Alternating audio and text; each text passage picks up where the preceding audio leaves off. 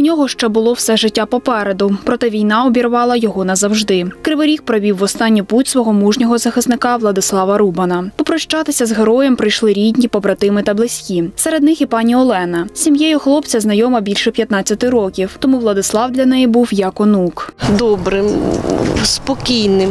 Ну, Це, це дитина золота. золота. І він пішов, пішов сам, пішов в ето, воювати. Сказав, я йду, я йду.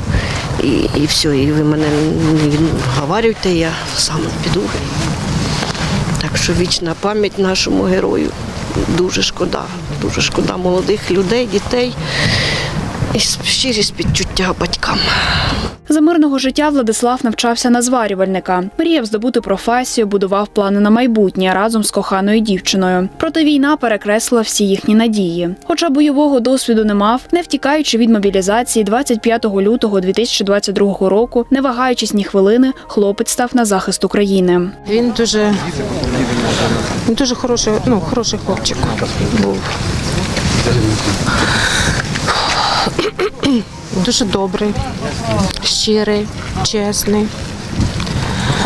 Завжди, от е, він, мабуть, завжди думав про інших, про інших більше, ніж сам про себе. Якось себе завжди на останній план ставив. Він хотів захищати свою батьківщину.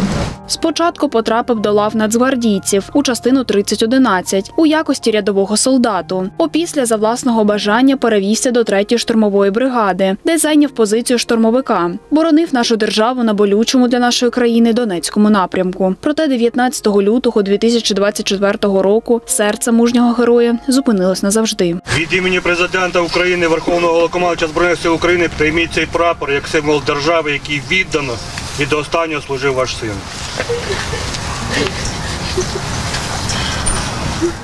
До рідного кривбасу полеглий захисник повернувся на щиті. Тепер без підтримки залишилися батьки героя та кохана дівчина. Разом з близькими для Владислава людьми вони провели мужнього захисника у засвіт.